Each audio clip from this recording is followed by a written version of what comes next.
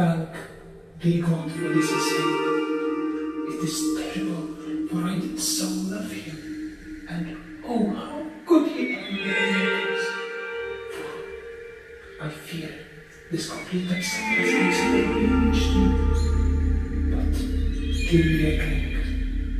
Preserve me at all times from the toils of the wicked.